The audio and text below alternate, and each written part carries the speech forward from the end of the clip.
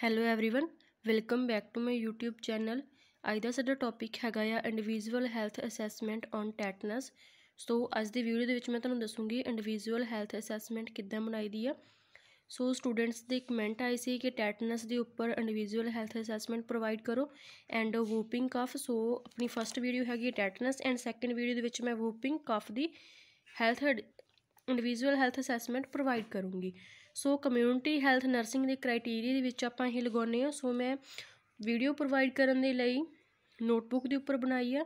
ਸੋ ਤੁਸੀਂ ਤੁਹਾਡੇ ਟੀਚਰਸ ਦੇ ਅਕੋਰਡਿੰਗ ਬਣਾਉਣੀ ਆ, ਜਿੱਦਾਂ A4 ਸ਼ੀਟਸ ਤੇ ਬਣਾਈ ਦੀ ਆ ਨੋਰਮਲੀ ਠੀਕ ਹੈ? ਸੋ ਫਸਟ ਪੇਜ ਤੁਸੀਂ ਆਪਦੇ ਅਕੋਰਡਿੰਗ ਡੈਕੋਰੇਟ ਕਰਨਾ ਹੈ। ਸਕੈਚ ਪੈਨ ਦੇ ਨਾਲ ਸਬਮਿਟਡ ਟੂ ਤੁਹਾਡੇ teacher the name submitted by and submitted on ਠੀਕ ਹੈ? ਸੋ ਫਰੈਂਡਸ ਵੀਡੀਓ ਨੂੰ ਸਟਾਰਟ ਕਰਨ ਤੋਂ ਪਹਿਲਾਂ ਜੇਕਰ ਤੁਸੀਂ ਚੈਨਲ ਨੂੰ ਸਬਸਕ੍ਰਾਈਬ ਨਹੀਂ ਕਰਿਆ ਚੈਨਲ ਨੂੰ ਸਬਸਕ੍ਰਾਈਬ ਜ਼ਰੂਰ ਕਰ ਲਿਓ। ਬੈਲ ਆਈਕਨ ਨੂੰ ਜ਼ਰੂਰ ਪ੍ਰੈਸ ਕਰ ਲਿਓ ਤਾਂ ਜੋ ਮੇਰੀ ਹਰੇਕ ਵੀਡੀਓ ਦੀ ਨੋਟੀਫਿਕੇਸ਼ਨ ਤੁਹਾਡੇ ਕੋਲ ਪਹੁੰਚ ਸਕੇ। ਵੀਡੀਓ ਨੂੰ ਸ਼ੁਰੂ ਤੋਂ ਲੈ ਕੇ ਐਂਡ ਤੱਕ ਜ਼ਰੂਰ ਦੇਖਿਓ। ਜੇਕਰ ਵੀਡੀਓ ਚੰਗੀ ਲੱਗੀ ਤਾਂ ਲਾਈਕ ਕਮੈਂਟ ਸ਼ੇਅਰ ਜ਼ਰੂਰ ਕਰਿਓ। ਕਮੈਂਟ ਕਰਕੇ ਜ਼ਰੂਰ ਦੱਸਿਓ ਤੁਹਾਨੂੰ ਵੀਡੀਓ ਕਿੱਦਾਂ ਦੀ ਲੱਗੀ। ਵੀਡੀਓ ਨੂੰ ਸਕਿਪ ਨਾ ਕਰਿਓ, ਨਹੀਂ ਤਾਂ ਤੁਹਾਡਾ ਕੋਈ ਨਾ ਕੋਈ ਪੁਆਇੰਟ ਮਿਸ ਹੋ ਜਾਏਗਾ। ਜੇਕਰ ਤੁਹਾਨੂੰ ਹੋਰ ਕਿਸੇ ਵੀ ਟੌਪਿਕ ਦੇ ਉੱਪਰ ਨਰਸਿੰਗ ਲੈਕਚਰ ਚਾਹੀਦਾ ਹੋਵੇ ਕੇਅਰ ਪਲਾਨ ਚਾਹੀਦਾ ਹੋਵੇ ਕੇਸ ਸਟੱਡੀ ਚਾਹੀਦੀ ਹੋਵੇ ਕੇਸ ਪ੍ਰੈਜੈਂਟੇਸ਼ਨ ਚਾਹੀਦੀ ਹੋਵੇ ਕੇਸ ਸਟੱਡੀ ਜਾਂ ਕੋਈ ਵੀ ਨਾਰਮਲ ਹੈਲਥ ਟਾਕ ਪ੍ਰੈਜੈਂਟੇਸ਼ਨ ਚਾਹੀਦੀ ਹੋਵੇ ਕਿਸੇ ਵੀ ਸਬਜੈਕਟ ਦੀ, ਤੁਸੀਂ ਕਮੈਂਟ ਕਰਕੇ ਦੱਸ ਸਕਦੇ ਹੋ, ਮੈਂ ਜ਼ਰੂਰ ਪ੍ਰੋਵਾਈਡ ਕਰੂੰਗੀ। ਐਂਡ ਜੇਕਰ ਤੁਸੀਂ ਪੀਡੀਐਫ ਲੈਣਾ ਹੋਵੇ ਤਾਂ ਤੁਸੀਂ ਉਹ ਵੀ ਬਾਈ ਕਰ ਸਕਦੇ ਹੈਗੇ ਆ।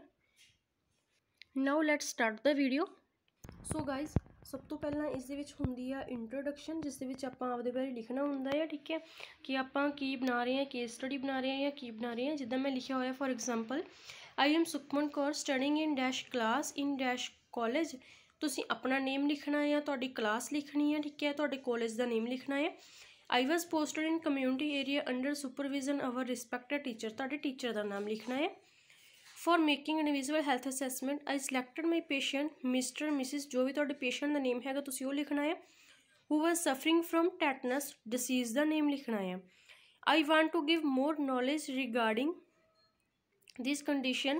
I also give care to patient. I help to reduce the future complications ਠੀਕ ਹੈ ਸੋ ਫਰੈਂਡਸ ਇਹ ਸੀਗੀ ਸਾਡੀ ਇੰਟਰੋਡਕਸ਼ਨ ਗਾਇਸ ਨੈਕਸਟ ਹੁੰਦੀ ਹੈ ਸਾਡੇ ਕੋਲੇ ਸਟੂਡੈਂਟ ਪ੍ਰੋਫਾਈਲ ਜਿਸ ਵਿੱਚ ਤੁਸੀਂ ਆਪਣੇ ਬਾਰੇ ਲਿਖਣਾ ਹੈ, ਜਿੱਦਾਂ ਮੈਂ ਲਿਖਿਆ ਹੋਇਆ। Name Sukhman Kaur age 18 year class GNM first year course GNM name of institute ਠੀਕ ਹੈ district and place and date of individual health assessment ਜਿੱਦਣ ਤੁਸੀਂ ਸਬਮਿਟ ਕਰਵਾ ਰਹੇ ਹੋ, ਠੀਕ ਹੈ, ਉਹ ਵਾਲੀ ਤੁਸੀਂ ਡੇਟ ਇੱਥੇ ਲਿਖਣੀ ਆ। ਪਲੇਸ ਜਿੱਥੋਂ ਦੇ ਤੁਸੀਂ ਹੈਗੇ ਆ, ਜਿਹੜਾ ਤੁਹਾਡਾ ਪਿੰਡ, ਸ਼ਹਿਰ, ਜੋ ਵੀ ਹੈਗਾ, ਉਹ ਲਿਖਣਾ ਆ, ਠੀਕ ਹੈ। ਸਟੂਡੈਂਟ ਪ੍ਰੋਫਾਈਲ ਤੋਂ ਨੈਕਸਟ ਆ ਜਾਂਦੀ ਹੈ ਪੇਸ਼ੈਂਟ ਪ੍ਰੋਫਾਈਲ ਪੇਸ਼ੈਂਟ ਦੇ ਬਾਰੇ ਆਪਾਂ ਲਿਖਣਾ ਆ।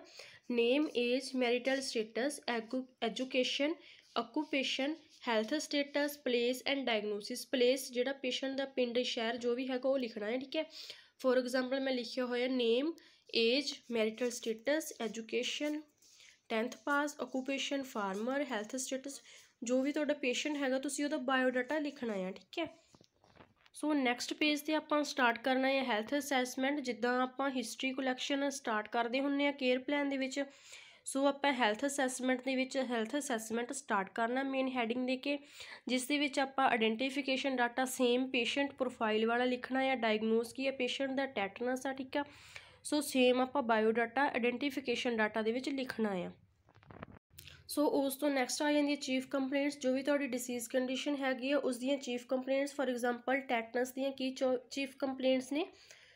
Lockjaw fever anorexia neck pain and diarrhoea next ਆ ਗਈ history collection history of present illness patient suffering from tetanus with chief complaints fever lockjaw et cetera ਜੋ ਪਹਿਲਾਂ ਆਪਾਂ ਚੀਫ ਕੰਪਲੇਂਟਸ ਲਿਖ ਚੁੱਕੇ ਹਾਂ ਹਨਾ, ਉਹੀ ਆਪਾਂ ਇੱਥੇ ਲਿਖਣੀ ਆ। ਨੈਕਸਟ ਆ ਗਈ history of past illness no significant ਠੀਕ ਹੈ?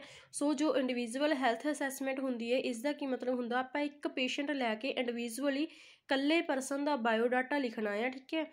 ਸੋ ਉਸ ਦੀ ਅਸੈਸਮੈਂਟ ਕਰਨੀ ਇਸ ਦੇ ਵਿੱਚ ਆਪਾਂ ਕੋਈ ਫੈਮਿਲੀ ਹਿਸਟਰੀ ਨਹੀਂ ਲਿਖਾਂਗੇ, ਕੋਈ ਫੈਮਿਲੀ ਕੰਪੋਜੀਸ਼ਨ ਨਹੀਂ ਲਿਖਾਂਗੇ, ਠੀਕ ਹੈ? ਕੋਈ ਉਹਦੀ ਫੈਮਿਲੀ ਬਾਰੇ ਨਹੀਂ ਲਿਖਾਂਗੇ, ਠੀਕ ਹੈ? ਸਿਰਫ ਪੇਸ਼ੈਂਟ ਦਾ ਪਰਸਨਲ ਬਾਇਓਡਾਟਾ ਹੀ ਆਪਾਂ ਲਿਖਣਾ ਆ, ਠੀਕ ਹੈ? ਸਟੂਡੈਂਟਸ ਟੈਟਨਸ ਦੇ ਵਿੱਚ ਹਿਸਟਰੀ ਕਲੈਕਸ਼ਨ ਤੋਂ ਬਾਅਦ, ਜੋ ਆਪਾਂ ਇੰਡੀਵਿਜੂਅਲ ਹੈਲਥ ਅਸੈਸਮੈਂਟ ਦੇ ਵਿੱਚ ਲਿਖਦੇ ਹਾਂ ਫਿਜ਼ੀਕਲ ਐਗਜ਼ਾਮੀਨੇਸ਼ਨ ਫਸਟ ਪੁਆਇੰਟ ਹੈਗਾ general appearance nourishment nourished body build normal health unhealthy activity moderate mental status consciousness conscious look anxious ਔਰ ਵਰੀਡ ਮਤਲਬ ਕਿ ਡਰਿਆ ਹੋਇਆ ਪੋਸਚਰ ਕੀ ਹੈ ਨੋਰਮਲ ਹਾਈਟ ਐਂਡ weight ਤੁਸੀਂ ਲਿਖਣਾ ਹੈ ਸਕਿਨ ਦੇ ਵਿੱਚ ਕੀ ਹੈ colour brown temperature abnormal lesions absent nourishment nourished texture ਕੀ ਹੈ ਡਰਾਈ ਨੈਕਸਟ ਆ ਗਿਆ ਹੈਡ ਐਂਡ ਫੇਸ ਸਕਾਪ ਕੀ ਹੈ dandruff absent skull dry hair black forehead normal lice ਮਤਲਬ ਕਿ ਜੂਆਂ ਕੀ ਹੈ ਐਬਸੈਂਟ ਆਈਜ਼ ਦੇ ਵਿੱਚ eyebrow present eye lesions no eyelids normal eyeball normal conjunctiva normal cornea normal vision ਕੀ ਹੈ ਗੁੱਡ ਪਿਊਪਿਲ ਕੀ ਹੈ ਰਿਐਕਟ ਟੂ ਲਾਈਟ ਠੀਕ ਹੈ ਨੈਕਸਟ ਹੈਗਾ ਈਅਰ ਸਾਈਜ਼ ਕੀ ਹੈ normal external ear no discharge hearing normal nose ਦੇ ਵਿੱਚ discharge is present nostrils normal shape ਕੀ ਆ ਨੋਰਮਲ ਨੈਕਸਟ ਮਾਊਥ ਦੇ ਵਿੱਚ ਕਿਉਂਕਿ ਇਸ ਡਿਸੀਜ਼ ਕੰਡੀਸ਼ਨ ਨੂੰ ਟੈਟਨਸ ਨੂੰ ਜੋ ਲੋਕ ਕਿਹਾ ਜਾਂਦਾ ਸੋ ਜੋ ਕੀ ਆ ਪੇਸ਼ੈਂਟ ਦਾ ਲੋਕ ਹੈ ਲਿਪਸ ਕੀ ਆ ਪਿੰਕਿਸ਼ ਹੈ teeth pallor tongue unable to speak gums ਕੀ ਆ ਨੋ ਬਲੀਡਿੰਗ ਨੈਕ ਦੇ ਵਿੱਚ ਲਿੰਫ ਨੋਡਸ ਦੀ ਪ੍ਰੈਜ਼ੈਂਟ ਇਨਲਾਰਜਮੈਂਟ ਠੀਕ ਹੈ thyroid gland normal range of motion absent chest ਜੇਕਰ ਤੁਸੀਂ ਫੀਮੇਲ ਪੇਸ਼ੈਂਟ ਲੈ ਰਹੇ ਆ ਤਾਂ ਤੁਸੀਂ ਇਹ ਵਾਲਾ ਪੁਆਇੰਟ ਇਨਲਿਸਟ ਕਰੋਗੇ। ਅਦਰਵਾਈਜ਼ ਨਹੀਂ ਮੇਲ ਪੇਸ਼ੈਂਟ ਦੇ ਵਿੱਚ ਨਹੀਂ, ਠੀਕ ਹੈ।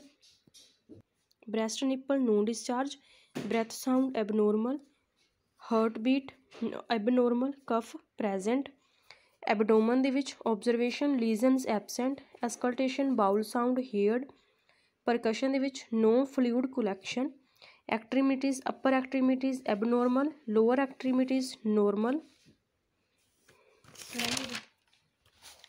ਚੁੱਪ ਕਰ ਜਾ। ਨੈਕਸਟ ਜੈਨੀਟਲ ਏਰੀਆ ਬਾਰੇ ਲਿਖਣਾ ਹੈ, ਠੀਕ ਹੈ। Next urethra opening swelling scrotum anus ਦੇ ਵਿੱਚ ਲੀਜ਼ਨਸ ਫਿਸ਼ਰੀ ਔਰ inflammation absent spine and back ਦੇ ਵਿੱਚ swelling absent lesions absent tenderness absent injury of spine absent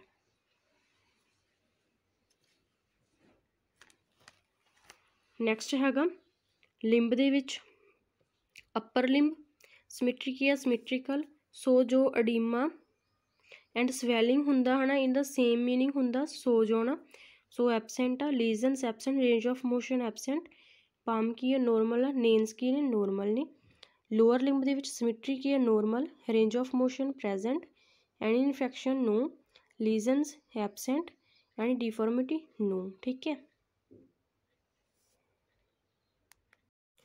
ਉਸ ਤੋਂ ਨੈਕਸਟ ਆਪਾਂ ਲਿਖਦੇ ਹੈਗੇ ਡਿਸੀਜ਼ ਕੰਡੀਸ਼ਨ ਸਭ ਤੋਂ ਪਹਿਲਾਂ ਤੇ ਹੈਗੀ ਡੈਫੀਨੇਸ਼ਨ ਆਉ ਲਿਖੀਏ ਡਿਸੀਜ਼ ਕੰਡੀਸ਼ਨ ਕੀ ਹੈਗੀ ਹੈ? Definition tetanus it is a neurological disorder characterised by increased muscle tone and spasm and that caused by titanospasmic a powerful protein toxin elaborated by clostridium tetani ਠੀਕ ਹੈ?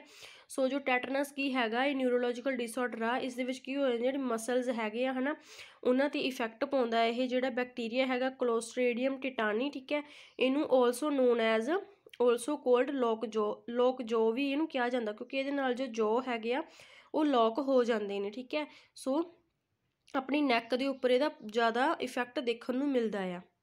ਨੈਕਸਟ ਆ ਗਈਆਂ types of tetanus local tetanus cephalic tetanus generalised tetanus and tetanus neonatorum so types ਨੂੰ explain ਕਰਨ ਦੀ ਜ਼ਿਆਦਾ need ਨਹੀਂ ਹੈਗੀ individual health assessment ਦੇ ਵਿੱਚ।